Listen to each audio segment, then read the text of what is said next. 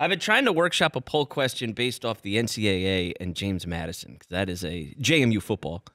Okay, James Madison is in its first year of playing or second year of playing uh, Division One A or Division One football FBS, and they moved up and they're undefeated this year.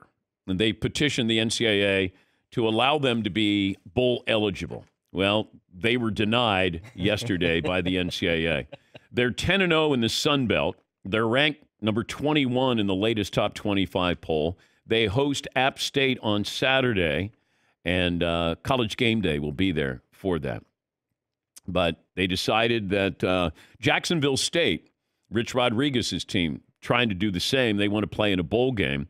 Now they they could still play in a bowl game if there are not enough teams that are at 500 at their record. So there's 82 spots. There's 41 bowl games at the end of the regular season. James Madison is not eligible to play in the Sun uh, Belt Conference champion, championship game, despite being the only team that's still undefeated in league play. So I, I get it. You know, you want to be bowl eligible. You're two years in, and you go to the NCAA. Well, the NCAA you know, now they could have been the hey, let's hear it for the NCAA. You know what? They uh, they have a soft spot in their heart for uh, you know some of these up and coming schools. But okay, that's the rule. I mean, this isn't about a football team. This is about all of your sports programs, and they give you that two year window to be able to get up to speed with some of the other schools you're going to be playing against. And James Madison is a nice story, but I just this here's my suggestion. How about Colorado and James Madison face each other in a bowl game?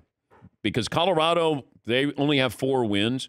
Maybe somebody is going to take those two and say, here's a great story. Uh, undefeated team here, and you have uh, Colorado with uh, Deion. Maybe that could solve you know the problems here. I don't know if Deion cares about playing in a bowl game, but you know I, they would be one of the bigger draws. If you said out of all the bowl team, uh, you know, teams that are eligible, and you could also have Colorado, how many bowl how many bowl games would go? Uh, we'll take Colorado because they're a draw. Now you have teams that are eligible and rightfully so, and they did all the things you're supposed to, and you uh, win your conference. You get to go to this bowl game. I, I I love that. I agree with that. But I am rooting for Colorado to be in a bowl game just because it'll be interesting. And if James Madison can get in there or Jacksonville State, great. All in favor. But the NCAA has a rule. And while we have question marks about the NCAA, you, we wonder about their authority. Uh, they laid down the law or reminded them of what the rule is, and they're not going to be eligible. Yes, Paul. Going back to James Madison, their appeal, this rule was put in place in 2008 before NIL, before the transfer portal was basically invented.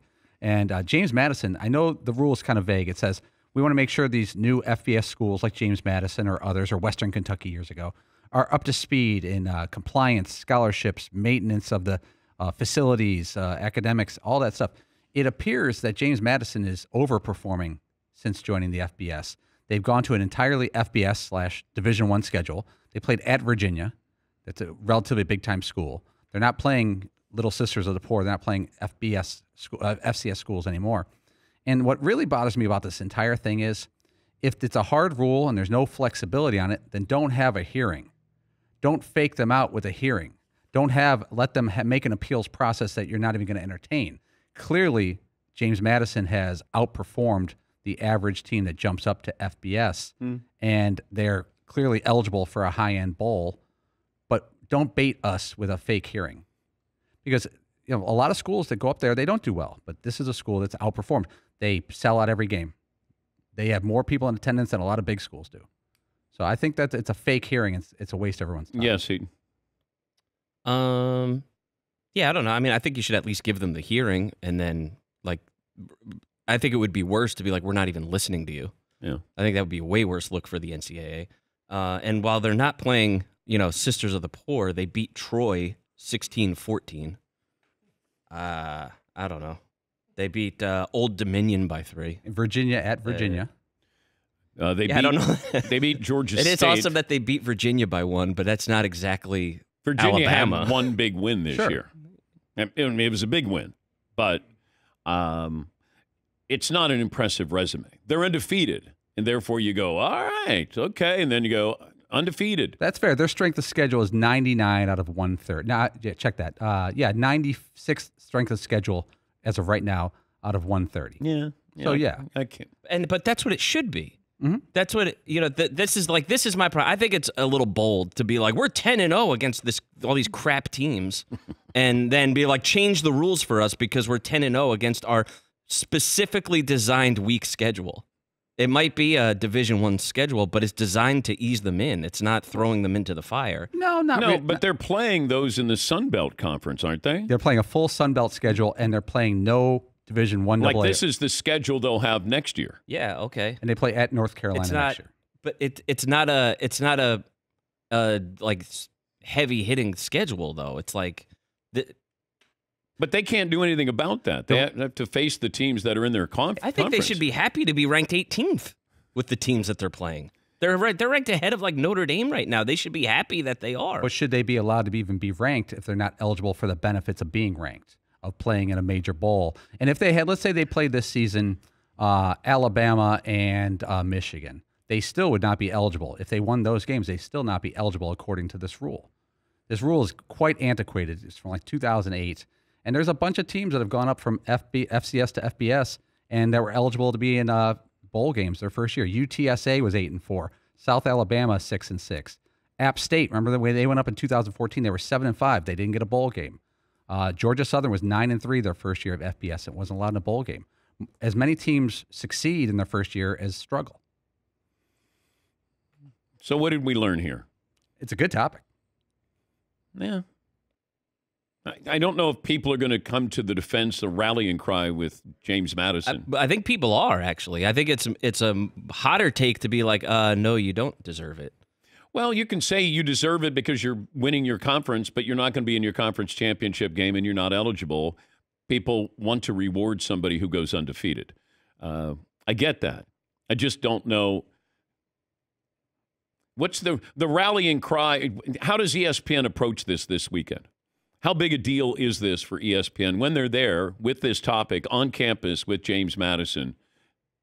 I would imagine that'll be front and center. I What- imagine a lot of your signs are going to have to do with uh, that bowl eligible. Yes, what Hugh. does the NIL and transfer portal have to do with their story this year?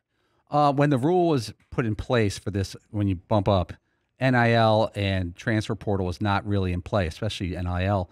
And this would allow you, if you had the right benefactor, to improve rapidly.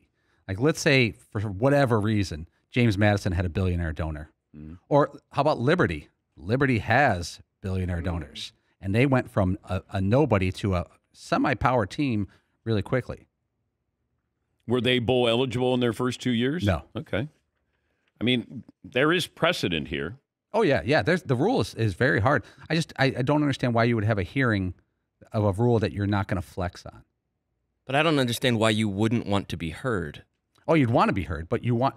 I'm saying like, why have a hearing that you would never entertain the case of the person appealing? Like if the NCAA had a hearing last night and they ruled against them, what is there one that they would make an exception for? Is there any is there any possibility? Is there anything James Madison could have done? Twenty six thousand people a week, full stadium, uh, winning their games, winning their games last year. It appears that the NCAA had a faux hearing for them that was not really designed to give them a fair chance. But then they're going to have to have a hearing on Jacksonville State. Then they're going to have to have a hearing on uh, Tarleton State. So they ruled against them as well with James Madison. You know, the NCAA, I don't know how functioning they are. I, I, I mean, I, I don't know how much they care about these things. It, it feels like they're like, wait, what's going on? Yeah, we'd, we'd like to play in a bowl game. Oh, well, let me see if we got a rule. Yeah, we got a rule against that. Can you at least hear a case? Well, let me see if I can get. Hey, hey, Tommy, wake up, Tommy. Yeah, uh, yeah, we'll get a hearing together. Yeah, yeah, we'll get a hearing together. I, don't- I don't know if the NCAA like puts priority on any of this stuff. Just I just don't know that you I get stuck on like you just don't change all of the rules because this one team had one good year their first time out. I don't- like I don't I don't know that you do that. Well, this is their second year. Yeah. Oh, okay. but okay, but they had a, a good year this year, Yeah, great Uh, year, undefeated. Uh, but then, and I still don't see how.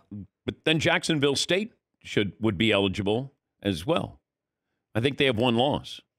Yeah, you can make the case. Yeah.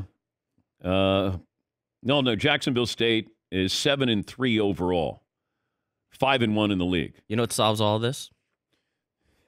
What? Let's guess. We've talked about it before. You're probably the first person nationally. who was a- Relegation. Promotion and relegation. Let's go. Relegation. You win your way into the best league. You lose your Come way out of the best leagues. There you go. It's easy. Come on. But hey, we beat up UConn. That was a class win.